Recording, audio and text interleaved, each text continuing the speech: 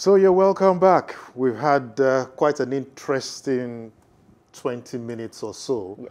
with our spiritual therapist, Excel. And uh, we've listened to him on how spouses can uh, effectively communicate with each other and how they can ensure marital disagreements do not affect the way they speak to their children. How do they ensure their children understand what is communicated and a lot more? Hmm. And um, we just ended at a point where we're transiting now to someone who's a specialist with um, the issues of dealing with um, young adults. Um, Eniola Olajobi is the Chief Executive Officer of Brainy Educare. She's a child psychologist. Eniola, hello and welcome to the program. It's a pleasure to have you on the show with us this morning. How are thank you, you, and John. Good to be here. Oh, very well, thank you. Thank you. Okay. As a child psychologist, and um, we're talking about communication, effective communication in the home, and trying to avoid a breakdown in communication. How do we ensure that the younger ones are carried along? Okay, thank you very much, Helen, for that question. Um, so basically, um, communication is a two-way thing. And as parents, we must realize that communication starts from day one. And when I say day one, what do I mean? I do not even mean the day of birth. I mean the day the child is conceived. So research has shown that even the fetus in the tummy is able to communicate and we are able to communicate with them. So what this means is that when the child is, you know, out and alive, even right from infancy, we begin to have conversations with them and we begin to read body language because communication is not just verbal. Okay. Communication is simply passing of information. And this, of course, includes the non-verbal, this includes the body language, even the tone of the voice, and of course, the gestures. So all of those things are the things that parents must put into consideration when communicating with children. And of course, as they grow older, it tends to become a bit tougher um, because of the differences in age and usually orientation.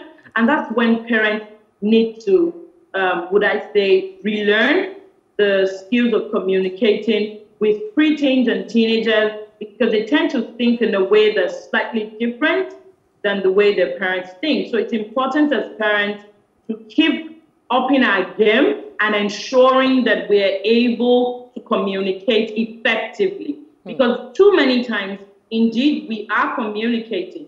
But the question to ask is how well, how effective, and is this really making a difference? Hmm. Because too many times hmm. We're listening to what they're saying. What about what they are not saying?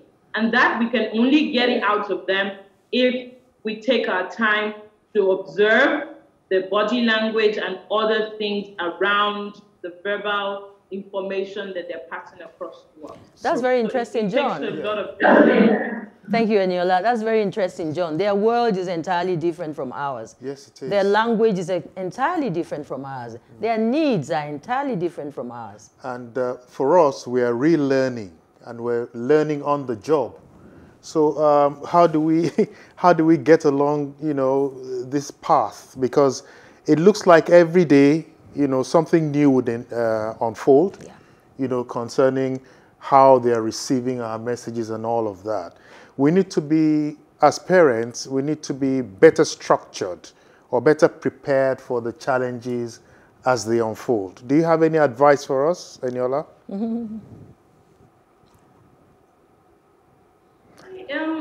thank you, John. The first advice I would say is that we need to um, come to the realization that you've just said, that is, that we need to learn, we need to agree, and then we need to be willing to learn. I feel like too many parents feel that they know it all. We believe that because we're older, we, we're perfect, and there's no room for improvement. So the first path is for us to agree that we need to relearn and possibly unlearn some things that we've learned before now. And then that willingness to learn And then, of course, paying attention to the leads that will teach us.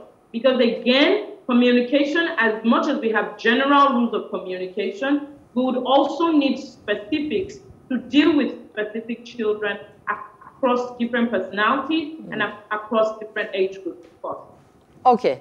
Um, that brings me to the next um, area of concern. You know, sometimes you feel that you're doing your very best. Sometimes you feel that um, why is it almost impossible for this child to see where I'm coming from? All right? Now, so it's probably about presentation. Um, what is the format, if, if I can ask that question?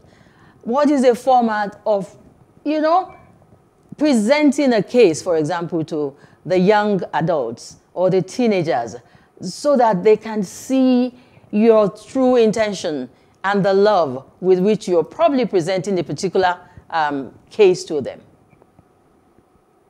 Okay, thank you. Um, so there's no fixed format per se, but there's some basic things we have to um, have in mind. The first one is we need to understand the need to talk with our children, especially the young adults, the teenagers, not talk at them. A lot of times parents tend to talk at. So there's this authority figure, I'm your mom or I'm your dad, and you will do as I say.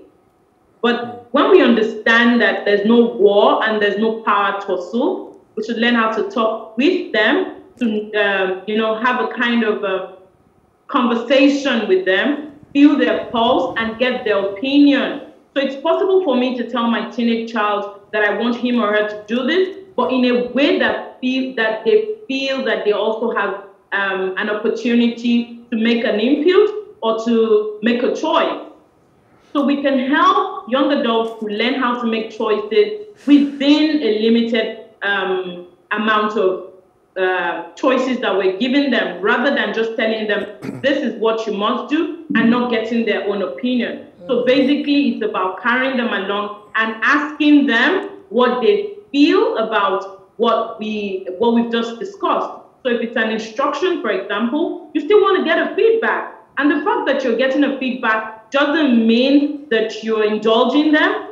It's okay for you to get a feedback and explain further. Sometimes the feedback helps you to understand how they feel about what you just said. And you may need to explain further why you think that's what they should do, because if they do not understand why we want them to do what, then they're, they're not going to do it when we're not there. So it's important to carry them along and make their opinions um, um, valid as Val- well. Yeah. Hear them out and then allow them to thank you. out their mind. Th- thank you. Thank you, Eniola. I, I, would like to quickly ask uh, a, a, question that has uh, been bothering me for a while, and it's a good thing we have someone like you on the show today. I know that a lot of families are going through um, crisis in terms of um, there's a particular age bracket. It's the teenage, you know, where children or these young adults go through what you call teenage blues. They totally shut down shut up, shut out, and it's very difficult to get through to them. Could you just how do we manage tell that? us? Yeah, how do we manage teenage blues? Okay, um, managing the teenage blues should start even before the teenage years. And um, given the situation that we're currently going through globally, and I'm referring to the pandemic, this has made children more vulnerable than ever before. So we're not just looking out for the teenagers, we're looking out for the preteens as well. So as mm. early as age eight, we want to start having conversations with our children. And these are conversations away from just breakfast table or just hello, hi, how was school today? We're talking about letting the children know that it's okay to knock on the door and say, Mommy, we need to talk. Daddy, we need to talk, and it has to be just you and I, because mm. this is going to be a very serious heart to heart conversation. When children have this kind of foundation, when the turbulent years come, they would usually want to shut out, like you said, and most times when you say what's wrong, they say nothing. Mm-hmm. But just like the high ball to high ball, but I know you know, uh, but you know I know there's something wrong. Mm. Something as short as that could help your teenager to open out better. So that's on one side. But on the other side, and in a situation where we haven't been doing this before and now they're teenagers already and they're sort of shorting out and we want to help them, basically the first thing we need to do is to give them space. I know that sounds like contradictory to what we expect, but the space is the very thing that they need from us first. Too many times we're all over them, you can't be in your room alone, you have to come out and be a part of the family. Again, we're talking at them and we're mm. lashing out. Mm. So we're disconnecting more and more. We need to give them mm. that space where they get this um, this help. Hey, what's going on? And it gives them an opportunity for some introspection, and then we come in in a very subtle manner. At that stage, more like a friend than um, than a, an authority or like you know somebody who's above them. To say, is there something that you would like to discuss? Do you feel comfortable enough to have a conversation with me about certain things. I see you've been keeping to yourself a lot. And sometimes we can even offer that would they like to speak to someone else? Mm. Because sometimes they may just want to talk, but for whatever reason or because of the previous um, relationship, they don't feel comfortable enough to you to talk to you. And I think that's something that parents need to come to terms with. Okay. It's Thank okay you. for your teenager not to want to talk to you. If there's an, uh, another trusted adult that you can refer them to, hmm. please do so. And that adult can encourage them, come back to you, or hmm. that adult can now come in, um, come in hmm. to help iron things out. iron, iron things out. Thank, Thank you, you, so much, Eniola. Thank you so much. You've been such a huge help on the show this morning um, because these are very, very key areas that are, you know, a lot of parents, a lot of families are experiencing a lot of the things that we have shared by, um, earlier on on this show. Thank you once again for joining us. And um, we hope that when we do knock at your door again, you will um, find the time to come on the show again because there's still so much, so much ground to cover. John? Yes, absolutely. Thank you Thank so you. much, Eniola Olajobi, CEO, Brainy Educare. It's been a pleasure having you on the show. Thank you. Okay, we'll take um, another break and um, on the show because we're talking family, it's not about the adults alone. So the young adults and the teenagers are ready to tell us where it is that we go wrong as parents. And Pharaoh has with her three um, smart young teenagers who will be discussing communication differences and challenges between teenagers and adults. Pharaoh, where are you? I am so interested in what these young children will have to say. Over to you, Pharaoh.